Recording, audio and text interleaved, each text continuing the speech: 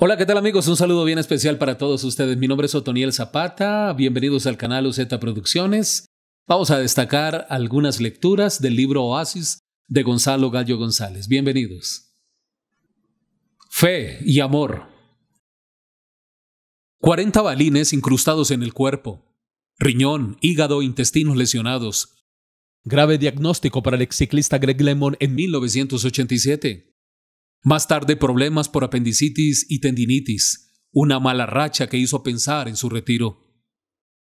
Pero él con su fe y su entusiasmo ganó la competencia más importante al vencer el desánimo y el derrotismo.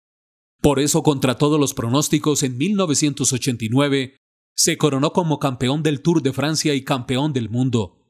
Con determinación y perseverancia logramos metas insospechadas. Los animosos muchas veces hacen posible lo imposible. La actitud mental positiva nos mueve a derribar barreras que únicamente existen en la mente de los apocados. Eres rico más por la fe y los valores espirituales que por el dinero y las cosas que acumulas. Ten la certeza de que la fe y el amor son las palancas que mueven el mundo y te acercan al éxito. Nuestros actos influyen. Tus actos positivos o negativos tienen un alcance que acaso no imaginas. Su irradiación es amplia, como sucede al arrojar una piedra en un remanso y ver crecer las ondas en círculos concéntricos. Según un gesto, sea bondadoso o malévolo, lleva paz o frustración a quien lo recibe y a quienes llegue después.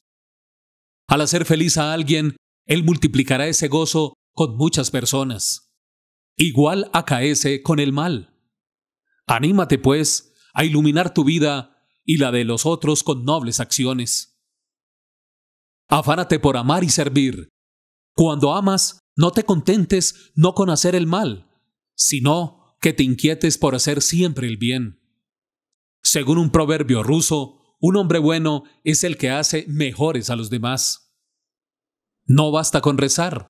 Motívate al saber que a muchas personas llegan los efectos del amor que brindas y la paz que transmites.